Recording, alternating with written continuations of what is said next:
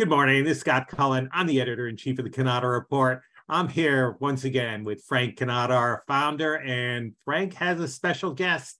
Frank, welcome. We're, we're very pleased uh, today to have our special guest is Tami Beach from HP. Tami's the key person when it comes to dealers.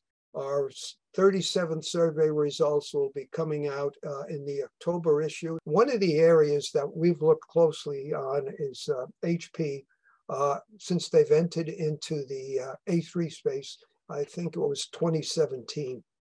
At least that was the time they completed the transaction uh, with uh, with Samsung, and uh, we've tracked them for five years, and we can see a steady a steady path of growth on the A3 side and an increasing I, I don't want to say dominance, but in terms of revenue, it's pretty close to being dominant. So I'm going to let Tami tell you more about what they're doing and why they've been so successful to date and what she's got planned for the future. It's uh, you're on, Tami. Great. Hi, Frank. I am so glad to be here. Thank you. Thank you for inviting me on and uh, super excited to talk with you today. So, you know, I think that everybody probably knows that HP has been at this for a while, really been trying to crack the code to, to figure out how we can make some progress with the dealer channel.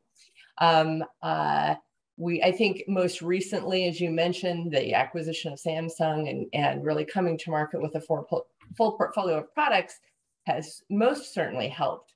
But really, where I think we started to get traction to begin with was in our A4 business and was helping partners to make this transition and, and really build out these really great uh, managed print practices, which has to include um, A4 product.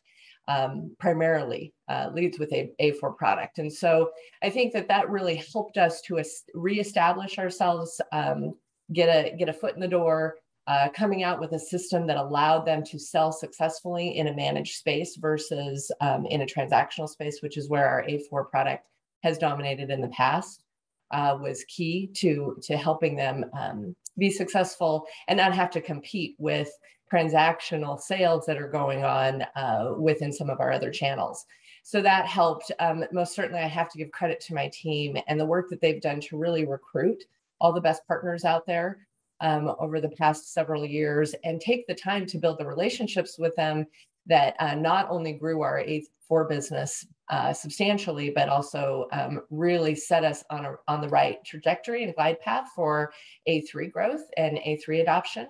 Uh, we've been spending some um, a lot of time in the past 18 months as much as possible with covid travel but i would say myself personally trying to get out to the events that the industry is having trying to have a presence um, and and and a, and a close conversation with our dealers is helping.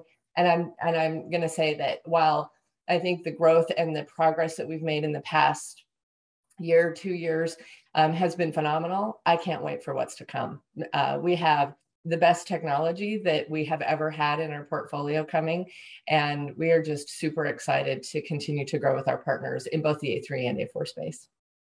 Uh, interesting, uh, Tami, when uh, obviously uh, going through the survey and looking at the comments question, the question about Amplify seems to have died down. I, I, yeah. didn't, I didn't catch any of that in, in this year's survey to any degree. That is that is great to hear, and we expected and, and hoped for that. We knew that it was going to be a huge change for our uh, dealer community to understand and embrace and operationalize the requirements that we had from Amplify into their organizations. And we have worked really, really hard to mitigate the, um, the effort it takes to work with HP. I'm not saying it's easier, a lot easier, but every day we try and make progress toward making it easier. And um, and I think that it um, we're hopefully starting to share some of the value back with our dealers uh, with business insights from that data. The better the data that we get from partners, the more consistent that data is, the more we can provide um, insights that help with better decision making, help um, our dealers understand where their customers are in their buying process, where the dealer themselves stands up um, across the channel in their business with us. And those are important um, points of, of insight that help businesses make um, help them drive their business with us forward. So hopefully we're making progress there. And I know we're making progress on um, automating the process and just making it easier.